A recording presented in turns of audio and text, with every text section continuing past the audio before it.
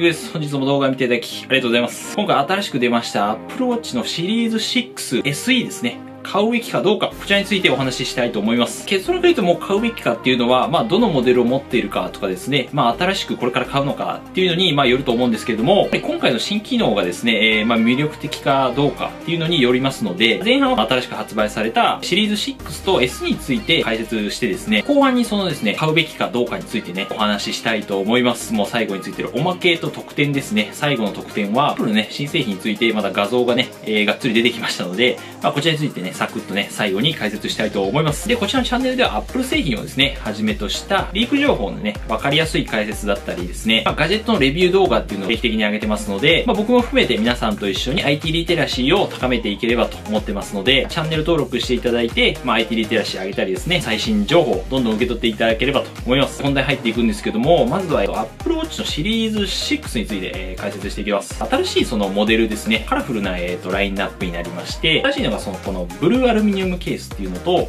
えー、ゴールドステンレススチール、えー、グレイブラックステンレススチールですね。まあ、グラファイトと呼ぶんですけども、あと、えっと、プロダクトレッドモデルですね。赤色。こちらのモデルが、えっと、新しく登場しましたと。と新しいバンドっていうのも出まして、ホロループっていうね、つなぎ目なしの、もう超シンプルなやつですね。まあ、伸縮性のあるね、バンドっていうのがね、登場しました。まあ、最初はね、ちょっと、アップのホームページとかからね、えー、印刷っていうのがあって、首のそのサイズをね、ちょっと測ったりしないといけないんですけども、まあ、自分の手に合ったようなね、バンドが、えー、届くっていうことですね。ブレイデッドソロループっていうのも用意されてまして、まあ、細かいです。こういうシリコンの糸っていうのが編み込まれたものですね。これも結構かっこいいなと思ってます。あと、まあ、レザーバンドとか、えー、新しいの出たりとかですね。 Apple Watch Nikeモデルっていうのも、えーとまあ、バンドとか文字盤が、えー、と新しくなって、えー、出てきてますね。文字盤っていうのもね、えー、また新しくなってですね、例えばその現在地の、まあ、リアルタイムのね、まあ、時間表示とか、まあ、今出てるこれアメリカのね、あれなんですけども、えー、あとまあクラシックなですね、あまあ、いわゆるクロノグラフ時計みたいなやつですね。あとタイポグラフィーの文字盤っていうのね、こういう美しいね、こういったのも出てきたりとか、あとアーティストとね、コラボしてこうユニークなね、なんか顔文字みたいな文字盤とか、あとミー文字も使えたりですね、こう帯みたいなね、まあ自分のこう好きな、例えばチームのカラーに組み合わせたりとか、まあこういうのも可能になりました。今回一番の進化ですね。まあ目玉ポイントとしては、この血中酸素濃度センサーですね。こちらの搭載です。これ何かって、まあ15秒間ですね、まあ赤い光って赤い光とその赤外線センサー当てて、体に取り込まれたその酸素のレベルですね。そういうのが、えー、と分かると。まあ、例えば、あと、まあ、就寝中にね、勝手に測ってくれて、まあ、データを取ってくれたりとか。なんでね、血中酸素濃度っていうのが大事かっていうと、例えばその心臓とか入って、まあ、呼吸することで、その酸素、体の中に、えー、酸素っていうのを送り込むんですね。血中ですね。血中の酸素を取り込むっていう感じなんで、まあ、血液中ね、その酸素濃度っていうのを見ることで、例えばその心臓と肺がちゃんと動いているのかってみたいなのを、えー、と、まあ、リアルタイムでですね、まあ、見れると。まあ、異常見つけたら、こう、例えばアラートを鳴らしてくれるとか、おやばいぞやばいぞみたいな、まあ、そういうのができる。新しいですね、6チップっていうのが搭載されて、まあ、電源効率良くなったり、まあ、以前の S5 チップよりもまあ20%まあ高速化してると。まあ、その電源効率がね、まあ、良くなったってことで、まあ、常時表示ですね。まあ、画面こうずっと光らしておけるみたいな。のがですね、常時表示の画面の明るさっていうのが、ま、2.5倍にアップしたりとか、ね。まあ、やっぱ外でこう画面見ると、光で見えねえみたいなことが、えー、まあ結構あったんで、行動計測っていうのも、まあ常時こうリアルタイムで、えー、測ってくれるようになったので、まあ例えばその登山とかね、ハイキング行く方にはかなりこれ嬉しいんじゃないかなと思います。まあ、アップルの発表会ではね、触れられてなかったんですけども、えっ、ー、と、あと 5GHz、Wi-Fi の、えーと、規格の 5GHz っていうのに、対応してます。一応シリーズ5まではですね、まあ以前のモデルまでは 2.4GHz っていうものの対応だったんですけども、要するにね、これ何かっていうと、まあより早く Wi-Fi にね、えー、つなげるようになるってことですね。壁とかに弱いっていう、まあ、弱点はあるんですけども、あとはその U1 チップのね、搭載っていうのが実はちょっと書かれてて、これまあ無線システムなんですけども、まあ、データ通信ができるものですね。例えばその Bluetooth みたいなもんだと思ってもらっていいんですが、今はその AirDrop ですね。まあ、その精度の向上とかで iPhone 11とか実際あの搭載されてるんですけども、まあ、AirDrop はですね、あの iPhone とか、えっと、Mac 上でこうデータをね、すぐやり取り、例えば写真をプッと送ったりとか、っていうのができるやつなんですけども、まあ、U1 チップは結構位置のね、検出の精度が高いとか、え、ー、と、妨害電波とかに結構強いってえ言われてるので、ちょまた来月に、ね、iPhone 12来ると思うんで、そこで、えっと、AirTag っていうものですね、と一緒に発表されるんじゃないかと、これに使われるんじゃないかってことですね。あの U1 チップが。はい、エアタグっていうのを、えーまあ、要するに、えー、と落とし物タグっていうもので、えー、例えば財布とかね、えー、とあの鍵とかにつけて、なくしたりするじゃないですか、あれ。ここで結構ななくすんですけども、それをまあ GPS とかで探せる。まあ実際にもうあるんですけども、まあそれを、えー、と Apple が独自でなんか出すんじゃないかと言われてます。アプローチに関しては、その電源アダプターっていうのが今回から、えー、ともうなくなってます。別売りですね。で、税別1800円です。はい。今回から一緒についてこないって感じです。ケーブルだけ買えなきゃ1800円。続いてですね、アップローチの SE ですね。SE に関しては、えっ、ー、と、廉価モデルとしてね、ちょっと安いバージョンとして価格は29,800円から税別で新たに、えー、登場しました。シーズ6の方が税別42,800円からなので、まあ1万3000円ぐらいね、違うかなっていうところですね。で、デザインとかね、機能的には、まあ基本的に同じですね。はい。じゃあそのシリーズ6と、まあどういうところが違うのかっていうところなんですけども、まあ、大きく分けてその中身と、まあ、外見ですね。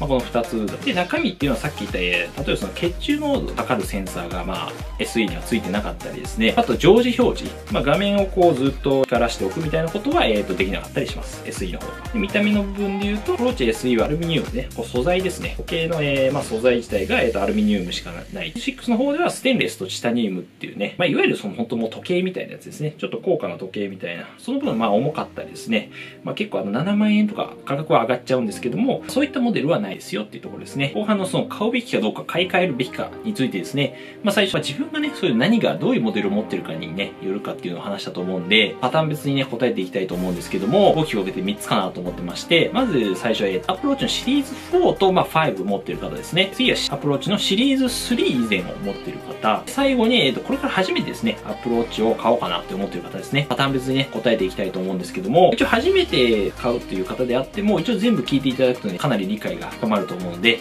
えー、ぜひ見ていただければと思います。ということで、まずシリーズ4と5ですね。まあ、現在持ってて、まあ、どうしようかっていう方ですね。シリーズ4と5から、えっ、ー、と、その丸みを帯びたデザインですね。画面がシリーズ3から多分35%ぐらいね、ぐらい、えっ、ー、と、まあ、画面の表示域が上がってですね、まあ、こちらのモデルだとですね、基本的にまあ、心電図とかですね、えっ、ー、と、転倒の検知ですね。まあ、例えばそのいきなりこう、今僕が倒れたりしたら、えっ、と、病院とかに通知を送るみたいな、まあ、SOS してくれるみたいなまあ、機能があったりするんですけども、まあ、実際これでね、あの、命を救われたみたいな人も、えー、いますと。で、シリーズ4と、じゃあシリーズ5何が違うのかっていうと、まあ、ざっくり言うと、えっ、ー、と、基本的にもう画面の、さっき言ったその常時、常時表示ですね。ずっと画面をオンにしておく表示が、えー、まあ、できるか、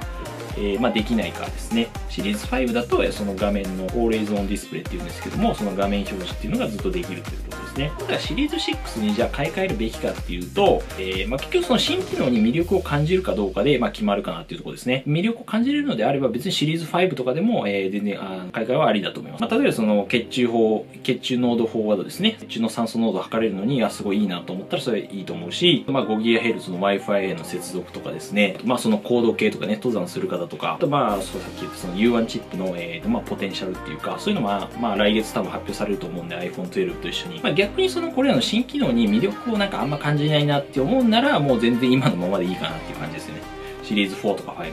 基本的にもその画面の大きさとかデザインっていうのも、まあ多分パッと見全然わかんないとか一緒っていうのもあるし、まあ性能の違いとかもね、まあチップ変わったといえども、まあそんな体感でね、来るかってそこまでじゃないと思うんですよね。まあ大きなそのバッテリーの持ちっていうのもね、基本的に一緒なので改善されてないのでね、うん、まあ2日とか使えればいいんですけどね、せめて。まあ、その新しい文字盤だったりももちろんですね、同じくサポート、シリーズ4、5されますし、あとこう新しく出たですね、今回 Apple Watch のですね、ファミリー共有機能っていうのも、えっ、ー、と、まあ、セルラーモデル限定ではあるんですけども、シリーズ、えっ、と、4、5は、えっ、と、サポートされるんで、まあ、このファミリー共有機能っていうのは、例えばその iPhone 持ってない方でもですね、Apple Watch、えっ、と、単体でですね、え使えるものっていうことになります。まあ、例えばそのお子さんに持たせて、まあ、位置情報とかね、そのメッセージのやり取りとか、まあ、親御さんが見るみたいな、そういう昔の、まあ、現代版の子供携帯みたいな感じで子供を、子供時計ですね、アプローチで使えたりですね。まあ、あと、高齢の方とかにやっぱつけてもらって、まあ、健康管理とかできたりとか、まあ、そういったようにね、まあ、用途で使えるってことですね。ファミリー教育の。ということで、シリーズ4、5を今お持ちで、まあ、ちょっと買い替えどうしようかなって方は、結局新機能に魅力を感じないなら、まあ、そのままでやる必要はないかなっていう感じですね。で、また、ちょっと来年あたりにそのグルコース、グルコースモニタリングっていう、まあ、いわゆるその血糖値を測れる機能っていうのが、まあ、追加されるんじゃないかっていう噂がありますので、まあ、そこが気になる方はこう待ってもいいかなっていう。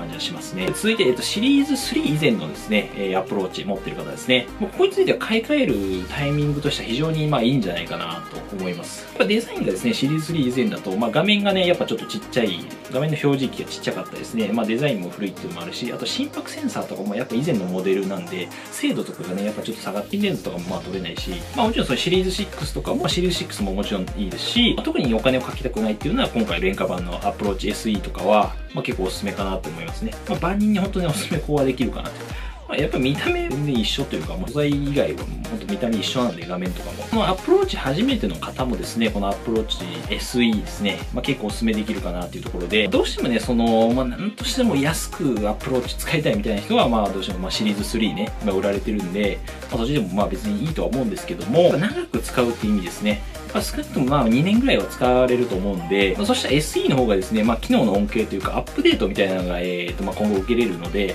まあ、そっちの方がやっぱコスパいいかなっていう感じがします。やっぱり2017年にね、発売のモデルなので、シリーズ3は。どんどんその、やっぱ来年とかになると多分そのアップデートの対象からどんどん外されていくと思うんですよね。まあ、例えば今回で言うとその、さっき言ったファミリー共有機能っていうのは、シリーズ3っていうのはもう、えー、サポートされてないんですよ。シリーズ4から、えー、使えるってことなんで、これとかね、使えたらそのお子さんにね、やっぱ安いモデル持たすみたいなのは全然ありだ、ありかなと思ったんですけども、まあ、ここら辺がね、やっぱそのアップル、まあ、こす、こすいっていう言い方あれですけど、ち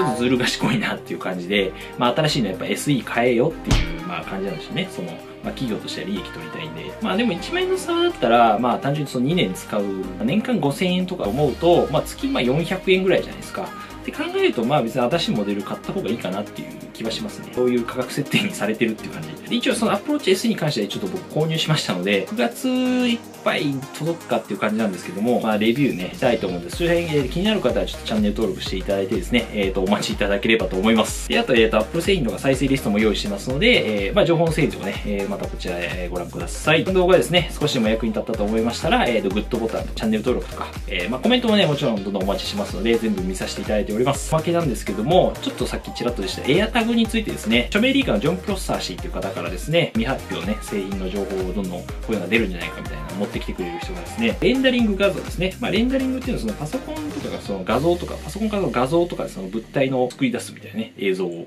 ことなんですけども、まあ、本物のそのエアタグとか動画の画像に基づいて作ったって言ってます。なんかアップルの内通者ね、いるっていう噂なんで、本当かどうかわかんないけどね。またその U1 チップっていうのが Apple Watch にもまあさっき言ったように搭載されたので、一応まあ Apple 独自のね、開発チップなんで、やっぱその GPS とかね、まあ信号が届かないところで、屋内とかでもね、結構もう10センチ以内というかかなりの精度で、えっ、ー、と、位置の検出できるらしいんで、やっぱそういう忘れ、財布とか忘れた時とかにこう iPhone 探せる方が結構いいかなと思いますね。こうなるとやっぱりね、えー、まあ来月の発表会のコントレールとかね、その Apple Watch で、まあ正確にね、えー、探せるようになるかもしれませんね。ちょっと来月の発表会楽しみです。ということでまた次回の動画でお会いしましょうバイバイ